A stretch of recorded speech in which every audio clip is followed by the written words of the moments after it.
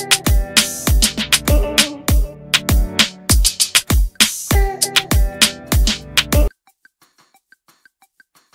กมหาเวทปู่มหามุนี vs อาจารย์ยอดเดือดจมัดจะมวยศึกไฟคลับปทุมไม่ครบยกศึกมหาเวทปู่มหามุนี vs อาจารย์ยอดเดือดจมัดจะมวยศึกไฟคลับปทุมสุดท้ายไม่ครบยกปู่มหามุนีเป็นฝ่ายพ่ายแพ้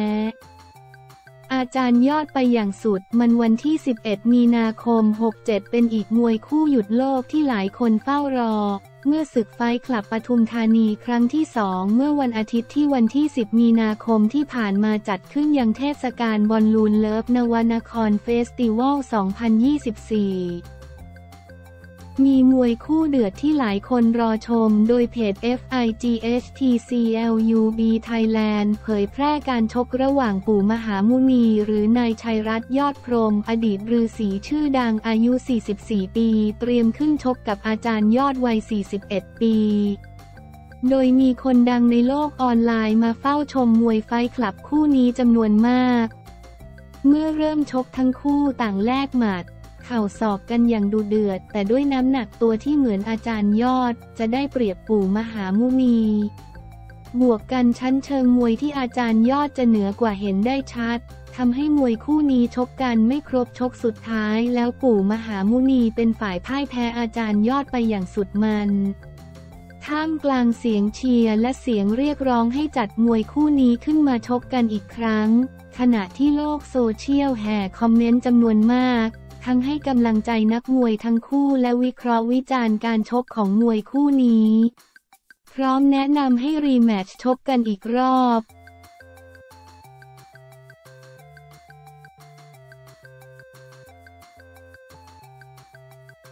ซีสิวัตไปยินดีงานแต่งฟลุกนาตาลีไร้รูปภรรยาร่วมเฟรมไม่ต้องเดาไม่ต้องสืบซีสิวัตไปยินดีงานแต่งฟลุกนาตาลีไร้รูปภรรยาร่วมเฟรมไม่ต้องเดาไม่ต้องสืบแฟนแฟนแห่คอมเมนต์รัวๆ เผยภาพไปร่วมยินดีงานวิวาห์แห่งปีกับเจ้าบ่าวเจ้าสาวซีศิวัฒน์โพสต์ร่วมเฟรมฟลุกเกริกพลและนาตาลีแต่ไร้เงาเอมี่กลิ่นประทุมภรรยาร่วมเฟรมด้วย พร้อมระบุแคปชั่นร่วมยินดีกับบ่าวสาว โดย peak ตรงคลิปภรรยาด้วยว่าเป็นงานที่น่ารักมากสวยงามซาบซึ้ง สนุกสนานยินดีด้วยกับทั้งคู่ด้วยนะครับ รักเสมอปอลอ หาภรรยาไม่เจอตอนถ่ายรูป เพราะว่านาง ดูคลิปเอาเองละกัน ชมคลิป อีโมจิมองบน เครื่องหมายสี่เหลี่ยม Lee Fluke Ever After ทั้งนี้เผยคลิปไม่ต้องเดาไม่ต้องสืบชมคลิป เอมี่ภรรยากำลังจอยกับงานวิวาห์ของฟลุกและนาตาลี โดย เอมี่ทั้ง dance ทั้ง drink สนุกสนานอยู่ ขณะที่แฟนๆเข้ามาคอมเมนต์ชมและแซว เอมี่น่ารักอาทิกำลังคิดว่าพี่นี่เมาแล้วแน่แน่แน่ตอนดูรูป ชอบซีเอมี่มานานมากๆ ยิ่งตอนนี้เห็นเอมี่นางยิ่งน่ารักกับเพื่อนๆทุกคน คุณเอมี่ดูจอยกับงานแต่งเพื่อนทุกคนเลยคะ น่ารักคะ น่ารักจังชอบนะ สังคมเปิดกว้างมองภาพจริง ๆ ของดารา เขาได้แสดงตัวตนจริง ๆ ไม่ต้องสร้างภาพพระเอกนางเอกอยู่ในกรอบเหมือนสมัยก่อน เป็นต้น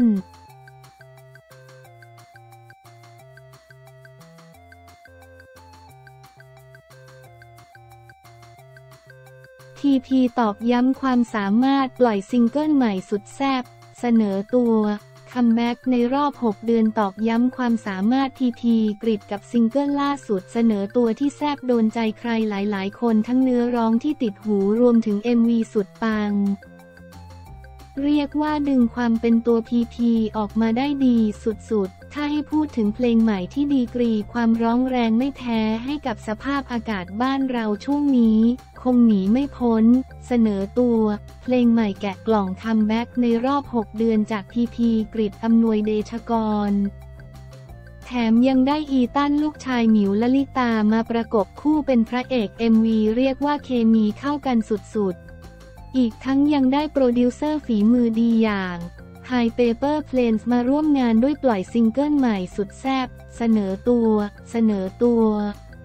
เป็นซิงเกิลใหม่เพิ่งปล่อยไปได้ประมาณ 2 วันแล้ว ซิงเกิล comeback ในรอบ 6 เดือนของ PP Krit Entertainment ที่มาของชื่อนี้ทำไมถึงใช้คำว่าเสนอตัว เริ่มต้นจากอยากทำเพลงที่มันเร็วขึ้นก่อน อยากทำเพลงที่มีจังหวะมากขึ้น เพราะว่าทุกๆคนก็จะเห็นเพลงพีเป็นแนวประมาณ medium มาตลอดไม่ว่าจะเป็นลังเลไฟบอย หรือเพลงช้าอย่างเส้นเรื่องเดิม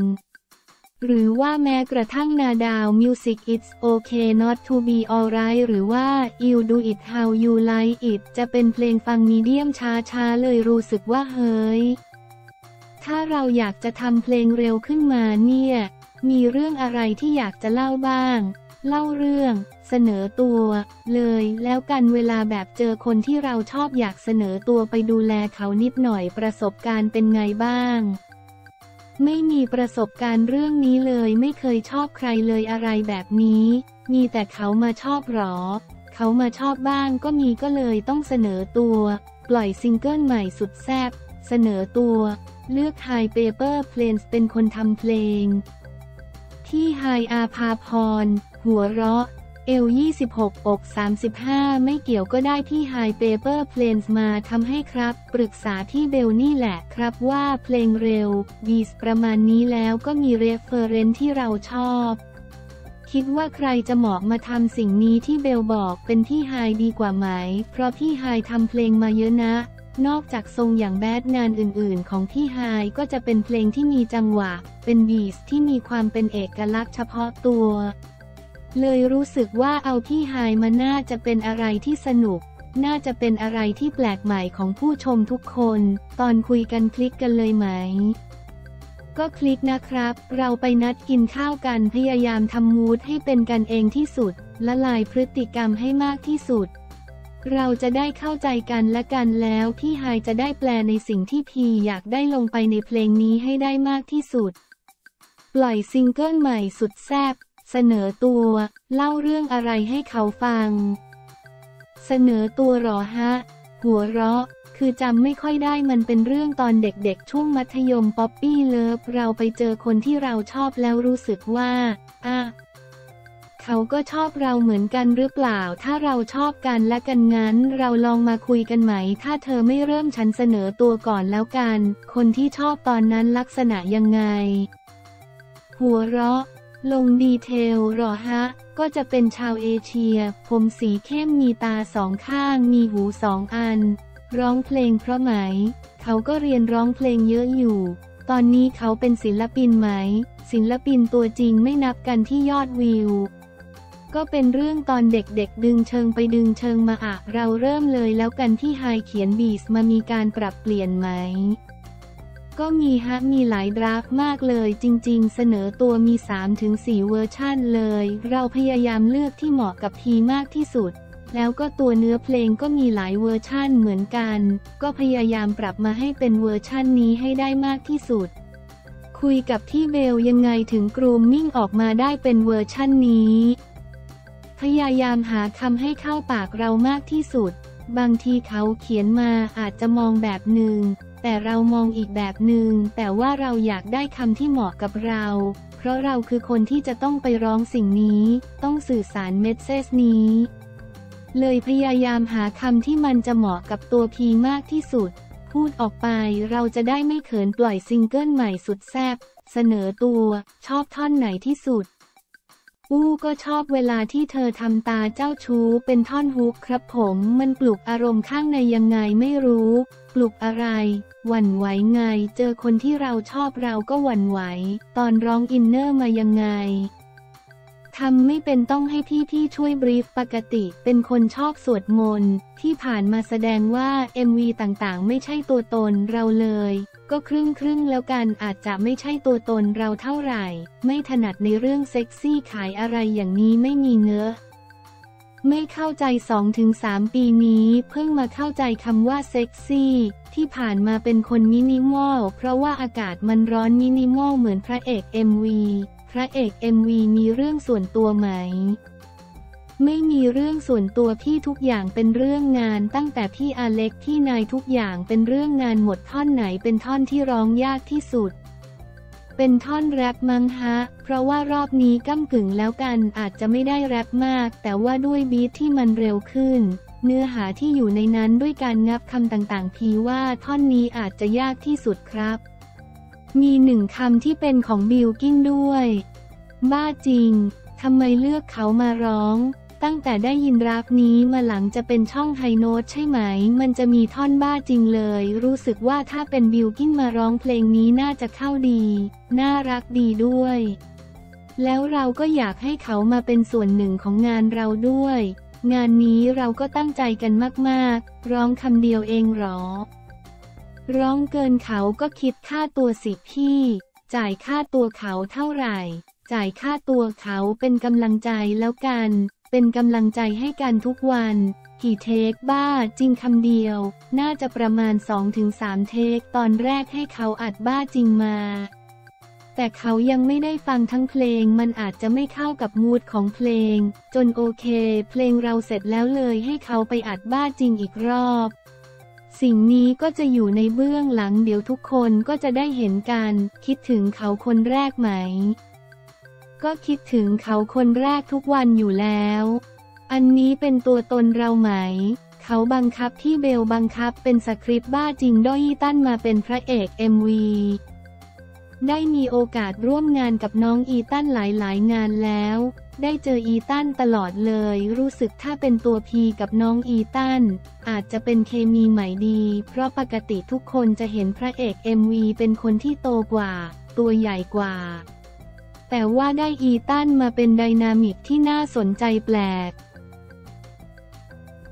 ไดนามิกที่น่าสนใจแปลกใหม่ดี ใครเป็นคนเลือกอีตัน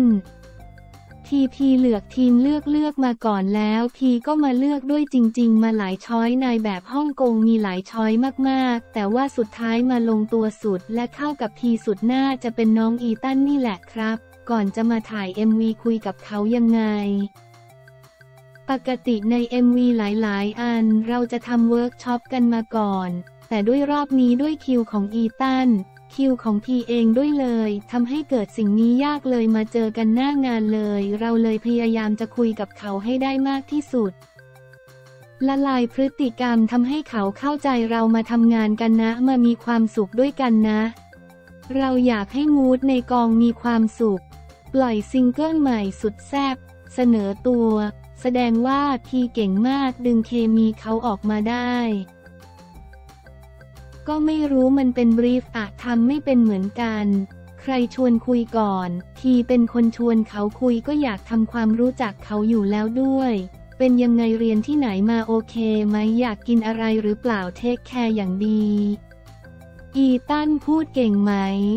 อีตันจะเป็นคนเงียบๆ จะมีโลกส่วนตัวสูง แต่ว่าพอได้คุยได้รู้จักเขา เขาเป็นคนที่น่ารักมาก ๆ ที่สำคัญเป็นงานแสดงแรก ๆ ของอีตันด้วย อีตันมีความเป็นมืออาชีพมาก ๆ หลาย ๆ ซีนที่เข้าด้วยกันเป็น magic moment เหมือนกันทำไมอยู่ดี ๆ อีตันก็มองเราแบบนี้ ยกตัวอย่างซีนไหน อย่างสมมุติซีนที่อยู่ใกล้กันอย่างเราจับปากเขามี skinship กันอีตันก็จะมีการส่งสายตามาเลยรู้สึกว่าเก่งเหมือนกัน เขาไม่เกรงความเป็นพีพีเลยหรอ เขาน่าจะยังไม่รู้จักพีพีด้วยมั้งฮะท่าเต้นใน MV ยั่วยวนมากท่าเต้นก็ได้ทีม Harlem Shake เหมือนเดิม ก็ work กับครูอ้ำมาในทุกๆงาน ครูอ้ำก็เป็นส่วนสำคัญมาก ช่วย develop พีในฐานะศิลปินด้วย ทุกคนรู้ว่าจะไม่ถนัดเรื่อง movement เท่าไหร่ ซึ่งครูอ้ำจะช่วย cheer up พยายามหา way ต่างๆ ให้ matching ให้เข้ากับพีมากที่สุด แล้วก็เข้ากับเนื้อเพลงให้ได้มากที่สุดด้วย เต้นแข็งแรงขึ้น มันก็ต้องมีพัฒนากันบ้าง ก็ฝึกซ้อมหลาย ๆ ครั้งเหมือนกันครับ บางครั้งที่ทุกคนเห็นไม่มีตารางงาน เราก็จะเอาเวลาตรงนี้ไปซ้อมร้องซ้อมเต้น พยายามหาอะไรใหม่ ๆ ในโชว์ด้วย ตอนนี้เริ่มเป็นไวรัลแล้วหลายคนไปเต้นตามดีใจครับ อยากให้ทุกคนไปลองเต้นตามเพราะว่าเพลงนี้ตั้งใจจริง ๆ ทีมงานหลายๆ คนคือเหนื่อยกันมาก ทุกคนทำการบ้านเยอะมากสำหรับเพลงนี้ เต้นยากไหม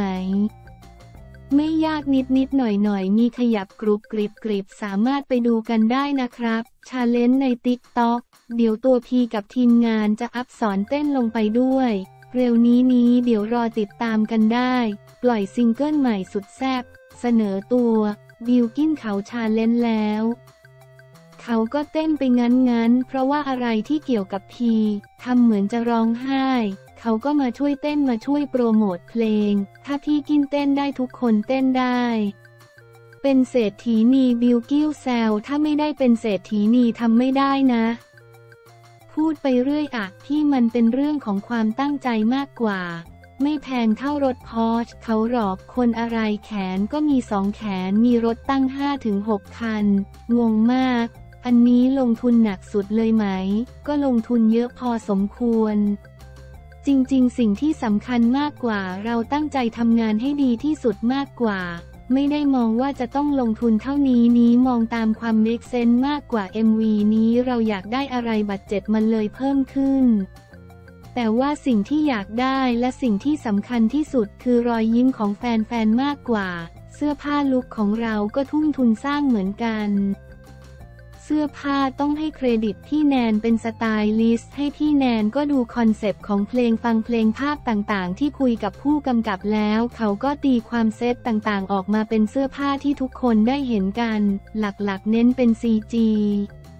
เพราะว่า concept เราอยากได้เป็นนางฟ้าที่ตกลงมา เพื่อตามหารักแท้คือเธอ คิดเองไหมบทตรงนี้ ครึ่งครึ่งคิดเองบ้าง ได้ทีมไหนมาทำ MV ให้ ได้ทีม director เนตครับ ชื่อพี่เนตได้มาทำ MV นี้ให้ผลงานอื่นๆของเขาก็ 4 EVE ศิลปินอื่นๆ ก็ได้พี่เนตมาทำ ดูอินเตอร์มาก เป็นความตั้งใจครับ รู้สึกในฐานะศิลปินอยากพัฒนาผลงานตัวเองให้ดีขึ้นขึ้น ให้ได้มาตรฐานที่สูงขึ้นไปเรื่อยๆ ปล่อยซิงเกิลใหม่สุดแซ่บเสนอตัว มองว่าตัวเองเป็น fashionista ก็ถือว่าทำการบ้านแล้วกันหลายๆ อย่างที่ได้คุยกับสไตลิสต์โอเค เราอยากได้ผมสีอะไร เราอยากได้ชุดนี้ควรใส่กับรองเท้าอะไร เพราะทุกอย่าง detail ต่างๆ ก็สำคัญมาก อย่างบางซีนเราไปเต้นอยู่ในทราย เราควรจะเป็นรองเท้ายังไง ถ้าเป็นรองเท้าส้นเข็มมันจะลำบากในการ movement หรือเปล่า หรือซีนเททรายจริงๆ แล้วมันควรดูพริ้วไหวไหม เราพยายาม match เสื้อผ้าให้เข้ากับทุกๆอย่างที่อยู่ใน MV ด้วย หลายคนมองพีพีเป็นแบบอย่างหลายด้านเลย ไม่นานมานี้ก็ไปปารีสมาอย่าง Balenciaga ได้เลือกชุดเองไหม งานทุกๆงานก็จะได้เลือกชุดเองอย่าง Balenciaga ล่าสุดที่ปารีสทุกคนจะได้เห็นชุดสีแดง อันนี้เป็นความบังเอิญเหมือนกัน เพราะเราเลือก look ไปประมาณ 3-4 look พอไปถึงวัน fitting ที่นู้นเราได้เจออีกหลายหลายๆ look ถ้าได้เสนอ look สีแดงมา ว่าอยากลองดูไหม มันอาจจะเข้ากับ you นะก็น่าสนใจน่าลองดี มันคือความท้าทายเหมือนกันโอเค จับมา fitting แล้วลองดีกว่า เลยรู้สึกอันนี้แหละมันใหม่ที่สุดและ perfect ที่สุด